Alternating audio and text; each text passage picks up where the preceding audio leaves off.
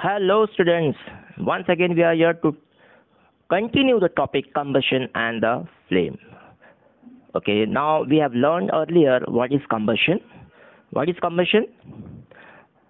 The chemical process in which the substance react with oxygen to give off heat is called the combustion. यानी कि क्या है इसमें heat निकलना चाहिए ये जो डायग्राम या जो पिक्चर देख रहे हैं इसमें क्या निकल रहा है? हीट निकल रहा है, ठीक है? And light is also coming so light and heat is very necessary part understand now when the magnesium ribbon burn in presence of air what does it release it release again we are doing that reaction M G plus O two okay gives M G O two okay mgO2 means this oxygen is very important here understand this oxygen without oxygen the combustion will not occurs कोई भी combustible substance अगर हम लेते हैं उसमें या कोई भी फ्यूल लेते हैं वो कंबस्टिबल तो वो कभी भी विदाउट ऑक्सीजन नहीं जल सकता understand come on now in the reactions mentioned about the magnesium and charcoal, actually charcoal is also a combustible substance. So charcoal are combustible substance.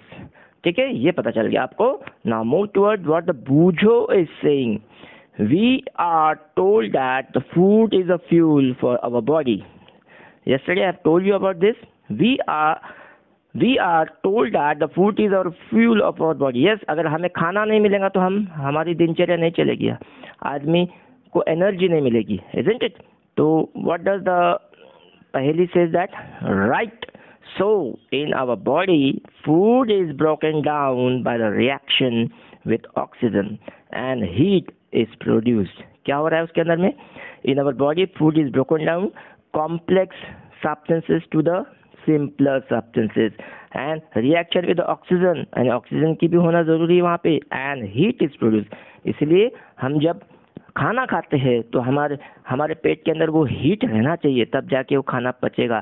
It that is heat is produce and we learn that in the class seven understand ये आप लोगों ने digestion या digestive system अच्छे से पढ़ चुका है, इसलिए हमें इसको ज़्यादा डिटेल में नहीं जाऊँगा. ठीक. ये आपको पता है come on next move to the next part now we will do the one activity 6.1 a very simple activity is there collect some materials like straw matchsticks kerosene oil paper iron nails stone pieces glass etc now under the supervision of your teacher try to burn each of these material one by one if combustion takes place mark the material combustible.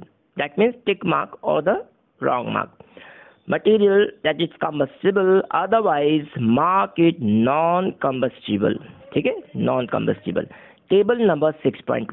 Where is the table number 6.1? Just come to the table number 6.1.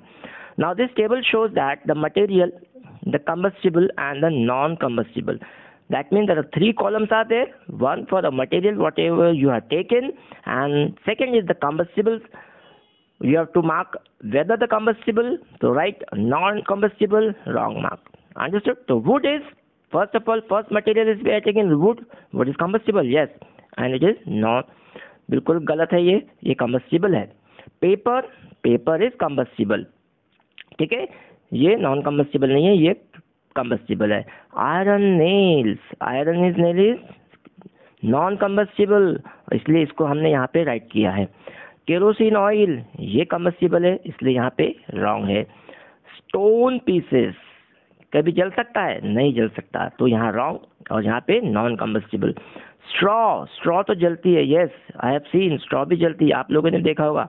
Then non combustible ये combustible है straw charcoal yes uh, it is combustible and matchsticks तो जलती है you know very well and the glass is non combustible isn't that is यहाँ पे इसको टिक किया गया है तो ये टेबल आपको समझ में आ गया है है ना चलो move toward the next part can you name some of more substances which are combustible you can add those on table number 6.1 यहाँ पे हमने प्लास्टिक्स को ही ऐड नहीं किया है है ना? फिर पॉलीथीन्स को, प्लास्टिक की चेयर वगैरह होती है, वो भी जलती है। पॉलीथीन होता है, वो भी जलता है है ना? तो ये ऐसे बहुत सारी चीज़ हो सकती है जो जलती है।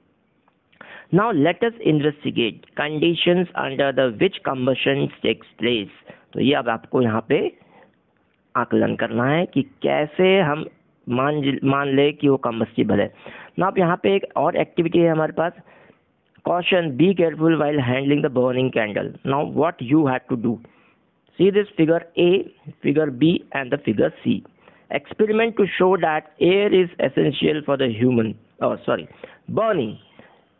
Experimental to show the air is essential for the burning. How do you make this prepare this experiment? Fix a lighted candle on a table put a glass chimney and यहाँ से भी ओपन होना चाहिए और नीचे से भी open open होना चाहिए glass chimney glass chimney over the candle and rest on the few wooden blocks इसके नीचे में एक वुडन ब्लॉक्स यहाँ रख दिए और उसके ऊपर में चिमनी रख दिए. तो what will happen that way the air can enter the enter inside ठीक है?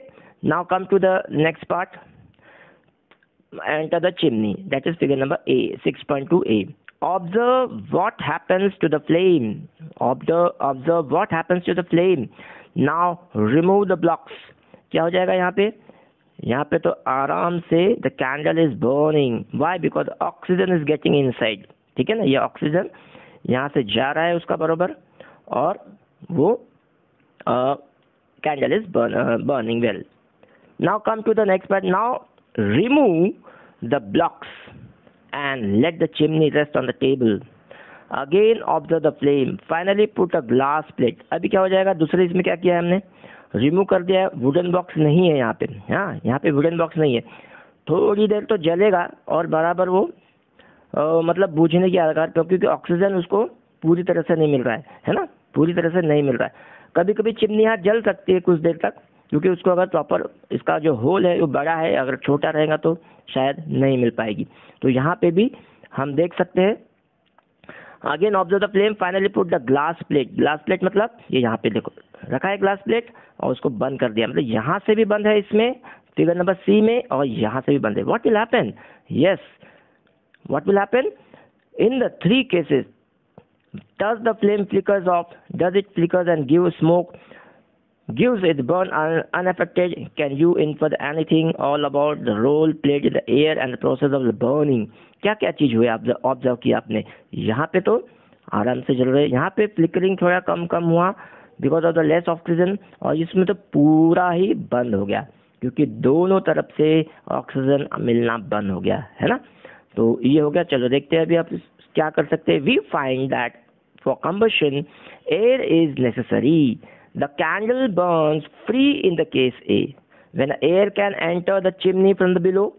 In case B, when air does not enter the chimney from the below, the flame flickers. Flickers मतलब बन बुझ उसको फ्लिकर्स होना मतलब ठीक ढंग से जलना नहीं चाहिए call the flickers and produce smokes और स्मोक्स निकलना उससे चालू हो जाता है। But what happen in the case C the flame finally goes off because the air is not available completely cut off of oxygen is there and that is why in the third case the candle stop burning okay now come to the what the बूजो again is saying Bujo is saying that we have read that the sun produces its own heat, है ना? Sun produces heat, यहाँ से बहुत लाखों मील दूर है यहाँ से, लेकिन फिर भी वो कैसे इतना हीट प्रोड्यूस कर रहा है लाइट प्रोड्यूस कर रहा है and light and it is also some kind of the combustion क्या उसमें भी कम्बेशन हो रहा है? What is your answer your answer is yes the combustion is actually it is not uh, uh, in a scientific manner it is not a combustion but some reactions are going on isn't it and what reactions let us begin that हम बाद में देखेंगे वो reaction पहले ये पढ़ लेते हैं in the sun heat and light are produce by the nuclear reaction ठीक है this is called the nuclear reaction You will learn about this process in higher classes अब मैं आपको बता देता हूँ ये कैसी रिएक्शन होती है। रिएक्शन कैसे होती है इसमें? अब what is present in the sun एक सवाल उठता है what is present in the sun light कहाँ से आ रहा है? तो दो चीज़ होती है सन के अंदर में, एक होता है हाइड्रोजन मैं उसको एच डिनोट करूँगा तो दैट इज़ हाइड्रोजन और दूसरा एक एलिमेंट होता है that is called the helium ठीक है, ये जो दो चीज़ है, दो एलिमेंट है these are present in the sun अब यहाँ पे एक रिएक्शन हो रही है। उसको समझने के लिए देखो हम क्या करेंगे यहाँ पे? आ, ये हाइड्रोजन हीलियम का एक रिएक्शन होता है फ्यूजन ठीक है? इसका होता है फ्यूजन एंड फ्यूजन ये जो फ्यूजन एंड फ्यूजन हो रहा है हाइड्रोजन और हीलियम का वो क्या करते हैं? वो ही ये heat and the light produce करते हैं। यानी इन दोनों के बीच में रिएक्शन हो रहा है चेन रिएक्शन हो रहा है, और जो कंटिन्यूस हो रहा है, कई अरबों, खरबों सालों से तक, अभी और अरबों अरबों सालों तक चलता रहेगा और पीछे भी अरबों सालों से होता आ रहा है। तो मतलब ये रिएक्शन नेवर स्टॉप लेकिन हम साइंस में ये पढ़ चुके हैं कि सन भी एक दिन ख़त्म होने वाला है, क्योंकि कोई भी चीज़ यहाँ पे हमारे यूनिवर्सिस में एज इट इज़ नहीं रह सकती। तो वो भी ये चेन रिएक्शन एक दिन ख़त्म हो जाएगा और फिर हमारा भी सन मतलब लाइट और हीट देना बंद कर देगा। ठीक है? उसको हम वाइट ड्रॉप में बदल जाएगा वो बहुत और फिर वाइट ड्रॉप में बदल के फिर ब्लैक होल में बदल जाएगा। तो ये होता है। This is all part about the sun understood student we are completing the session here only and we will move to the next session in the next part okay? Thank you students if you have any doubts related to this topic please do not hesitate to ask. Write your doubts in the comment box. I will answer your question. Thank you